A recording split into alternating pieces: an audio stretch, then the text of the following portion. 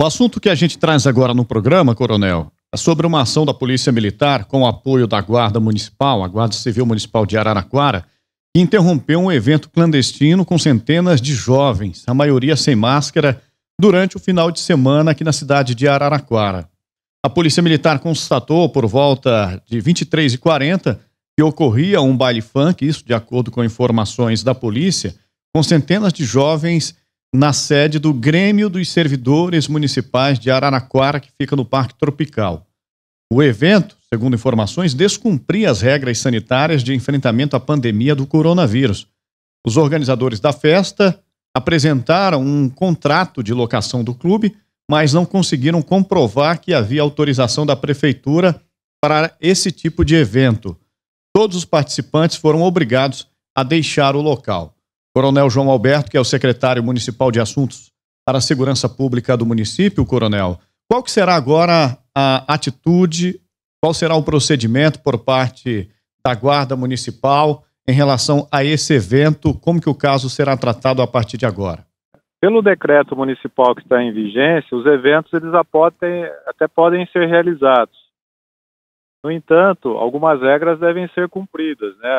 Tem que haver o distanciamento entre as mesas, não pode haver dança, as pessoas têm que utilizar máscara, se houver alimentação, devem seguir as mesmas regras dos restaurantes. E esse evento que aconteceu, ele era um evento que contraria frontalmente a, as regras previstas no decreto, inclusive é, se configurando como uma aglomeração irregular.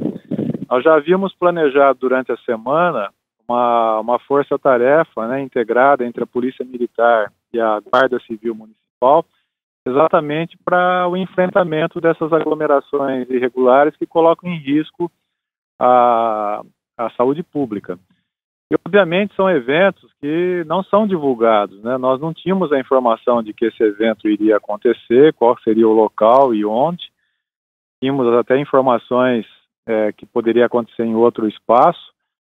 Mas quando tivemos a informação, imediatamente essa força-tarefa que já estava montada para isso se direcionou até o local e nós constatamos, né, a, guarda apoiou a polícia militar e ela tomou as providências, inclusive lavrando o competente boletim de, de ocorrência que será encaminhado para a delegacia de polícia, onde o organizador do evento, que foi identificado, ele será responsabilizado criminalmente e administrativamente a prefeitura está adotando as medidas. Ele foi identificado e foi feito o auto de infração é, nos termos do, da Lei Municipal 9.931, é, que trata dessa questão. Coronel, que, o que muita gente ficou perguntando e chegaram para a gente alguns questionamentos é sobre a diretoria, os responsáveis por esse clube, porque é um grêmio dos servidores municipais de Araraquara. E a gente imagina que a diretoria seja formada por servidores municipais. E esse evento, como o senhor já disse, não tinha autorização da prefeitura. A Guarda Municipal conseguiu identificar quem são esses diretores? E eles já foram notificados? Qual será a responsabilidade deles? Sim, eles serão notificados e nós estamos providenciando nesse momento a identificação é, de quem é a diretoria do, do Grêmio, né? Porque e nós vamos ver a, a até a, a questão da, da, da, participação deles, se, se de fato houve, né? Esse esse contrato de locação. Então eles serão autuados também. Então a própria lei municipal ela prevê que tanto aquela empresa, né, ou a pessoa jurídica, ou até a pessoa física que faz a locação desse espaço de lazer, e a pessoa que utiliza o espaço de lazer de forma contrária à normatização do decreto podem ser responsabilizados, e ambos serão responsabilizados. Obviamente, eles terão todos os prazos recursais para demonstrar se, se eles tinham boa fé, se o, se, a, se o contrato não, não previa que seria um, um evento irregular, né? Logicamente depois eles vão ter o direito de, de defesa, é, exatamente, mas serão, é, como prevê a lei, a lei, serão autuados.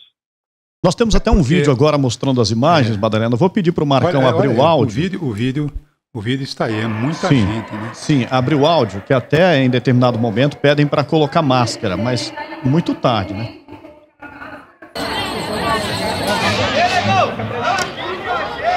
Muito baixo no momento em que é, a, a pessoa que está com o microfone, né, está falando ao microfone, pede para que os participantes coloquem a máscara, depois que a Guarda Municipal e a polícia chegaram. Então já era tarde. Difícil, né? A gente desfocou as, as imagens, porque, claro, podem ter menores aí para evitar algum tipo de problema. Mas a maioria que a gente observa nessas imagens, sem máscara.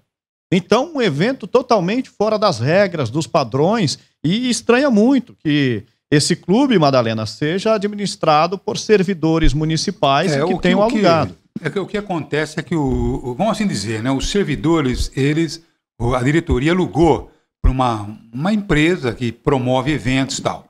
Agora, a, a, empresa que promove eventos tem um contrato com o clube, dizendo o seguinte, nós vamos uh, observar todas as regras. Essas regras foram desmontadas. Por isso que eu digo a você, então você que tem aí um recinto de eventos, quando você fizer um contrato, você faz dois contratos. Bom? Dizendo o seguinte, olha, nós temos um contrato aqui que é, obedece esse ritmo. Então você vai se comprometer a cumprir todas as regras. Porque se amanhã depois acontecer alguma coisa, eu serei multado e você será multado. Agora, teria que ter aí um contrato, um terceiro contrato, dizendo o seguinte: olha, se eu for multado por você, então nós vamos ter aí uma segunda multa milionária. Aí é que está o negócio, para arrebentar a empresa, porque, infelizmente, o que está acontecendo hoje é o seguinte: as pessoas alugam espaço, tá bom? Fazem um contrato e é, descumprem esse contrato. Então a pessoa que alugou o espaço também é punida. E vai punir também o dono do espaço. Agora, o idealizador da festa devia ser punido duas vezes: punido pela prefeitura e punido também pelo próprio que fez o aluguel, porque aquele que tinha o compromisso de cumprir um contrato não cumpriu. É profundamente lamentável, né? Agora, as imagens mostram aí, né? É uma irresponsabilidade, é de, é de uma insensibilidade, porque esses elementos, eles desconhecem, sabe? Os médicos que estão lá nos hospitais, as enfermeiras, os agentes de enfermagem, todos aqueles que mexem com a pandemia. Então essa gente não tem respeito, sabe? Com quem está morrendo, que eles podem levar essa doença para dentro da casa deles. Eu nunca vi tanta gente burra, tanta gente sem um pingo realmente de inteligência. É esta que é a verdade. Infelizmente, viu, Chico, viu, Luiz Antônio, viu, Ernesto, nós não temos como não fazer esse desabafo diante de tanta irresponsabilidade, sinceramente. Já passo a palavra para o Luiz, só antes agradecer a participação do Coronel. Alguma, alguma informação mais para concluir, Coronel? Não, eu que agradeço a participação, né, para poder fazer esclarecimento. Eu comungo da mesma indignação do Madalena nesse momento que nós estamos vivendo, né, ainda diante de uma pandemia, várias pessoas morrendo no estado, no país, na nossa cidade, e pessoas né, vivendo como se nada tivesse acontecendo, não respeitando a dor das famílias que perdem os seus entes queridos, não respeitando os profissionais da saúde que estão no dia a dia labutando, né? Então, realmente, fica aqui também a minha indignação, mas eu quero ressaltar que a fiscalização, ela vai continuar e nós não vamos tolerar e vamos aplicar tudo aquilo que está ao nosso alcance, todos os dispositivos legais, para que a gente possa continuar coibindo esse tipo de evento. Agradeço, portanto, a participação do Coronel João Alberto Nogueira Júnior, que é secretário da Segurança Pública Municipal aqui em Araraquara.